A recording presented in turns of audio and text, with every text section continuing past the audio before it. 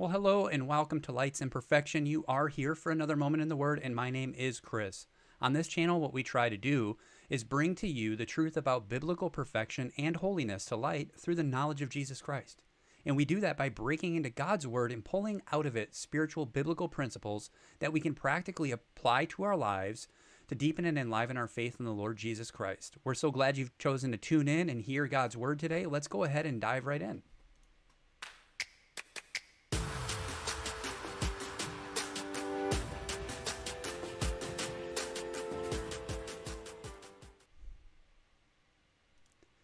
For today's moment in the Word, brothers and sisters, we are going to be jumping directly into Psalm 40, verses 1 through 3. And those scriptures read this I waited patiently for the Lord. He inclined to me and heard my cry.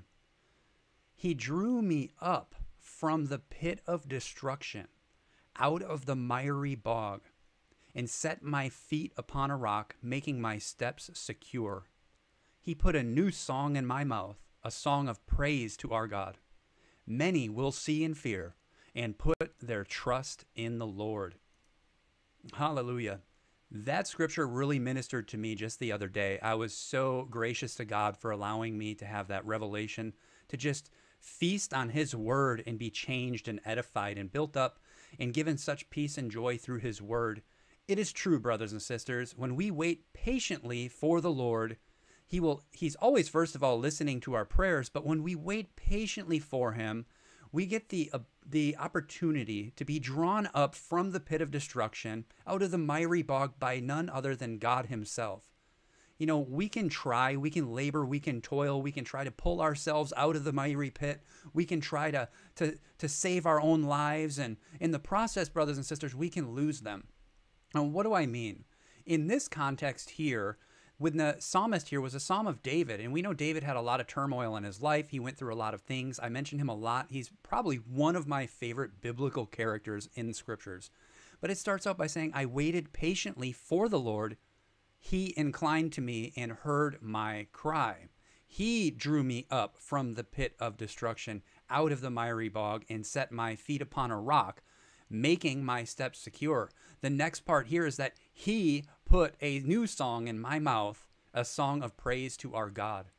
You know, that reminded me of the word testimony. You know, in the Christian faith, when those entrust their lives to Jesus Christ for salvation and decide to follow Jesus, putting everything on the line, losing everything so they can find their life in Him, he is able then at that point to put a new song in our mouth, a song of praise to our God. It, it comes from the depth of revelation through the Holy Spirit, brothers and sisters. It comes from a testimony. And a testimony is very simply something that God has done in your lives, and you are wit- bearing witness to it in your life. The fruit is in your life. The fruit in David's situation is that God himself drew him up from the pit of destruction.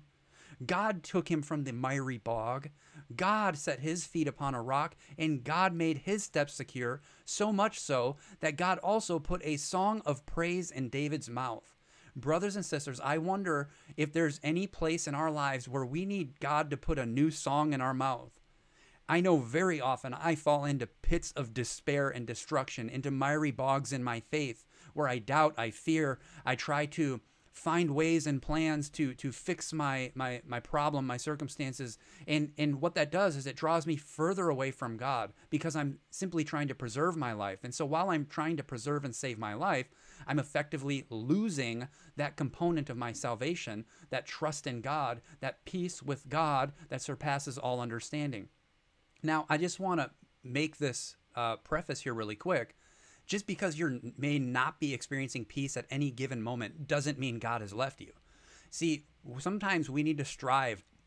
What I've noticed is whenever there's anxious toil in my life, I've also noticed that that's an area that my faith needs to be worked on. That I need to be patient and waiting for the Lord. I need to to cry out to him and let him incline his ear to me and not me try to figure out a way out. And so then God can draw me up from the pit of destruction. He can pull me out of the miry bog. He can set my feet upon a rock and he can make my steps secure. And that will give me a testimony when he puts that new song in my mouth, a song of praise to our God, and that peace, that joy, that hope is restored in my soul. And then, brothers and sisters, many will see and fear and put their trust in the Lord. You know, it's important to go out and minister with words, but what I find more important is to allow God to minister to others through your life and what He alone has done in it. That is, if we allow Him to be our sole proprietor of salvation in our lives. God doesn't need our help, brothers and sisters. He really doesn't. You know, and it's so amazing that we can look to the scriptures, we can find hope and encouragement and then gain an understanding so that we can be patient and realize that the same God yesterday is today forevermore. And so when we look at the scriptures and how God dealt with his people, namely in this case, David, many times we see through the scriptures specific instances where God delivered David. And David was a man after God's own heart from God's own testimony about him. And so if you can imagine that, last part of the this this context that we're diving into, many will see and fear and put their trust in the Lord.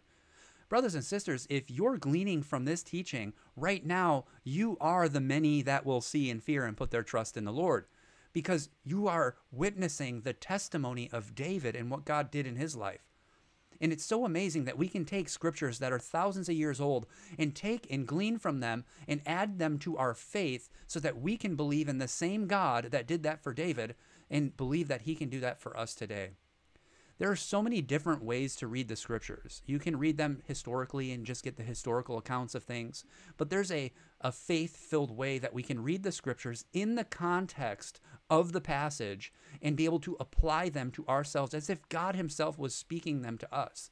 And I find that to be very helpful. He put a new song in my mouth, a song of praise to our God. Many will see and fear and put their trust in the Lord. If you're like me, brothers and sisters, you want nothing more than to just see people draw near to God. But how are they going to draw near to God if our witness and testimony is tarnished by self effort and self preservation and, and futile works? You know, it's true when somebody sees your life and they see all of that stuff, they, they're not really drawn to that because everybody else is doing that same thing. So, what sets us apart? It's very simple. We trust in the Lord with all of our heart. We lean not on our own understanding. In all of our ways, we acknowledge Him so that He can direct our paths. And when God's directing our paths, He alone gets the glory. And so people can look at our lives and they can try to dissect our lives. But when they ask a reason for the hope that's in us, we can respond by saying, He put a new song in my mouth, a song of praise to our God. And then many are going to see it in fear and put their trust in the Lord.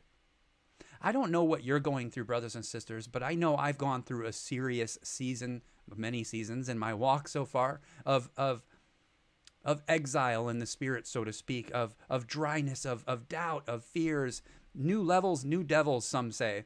You know, we go through different trials, tribulations, and testings in different seasons of our life, and we're all at different places in our life right now, but we can all share in the truth of God's word no matter where we are. There's no place we can go where God's word can't still reach us. You see, when God sends out his word, brothers and sisters, it doesn't return to him void. It accomplishes exactly what he called forth it to accomplish.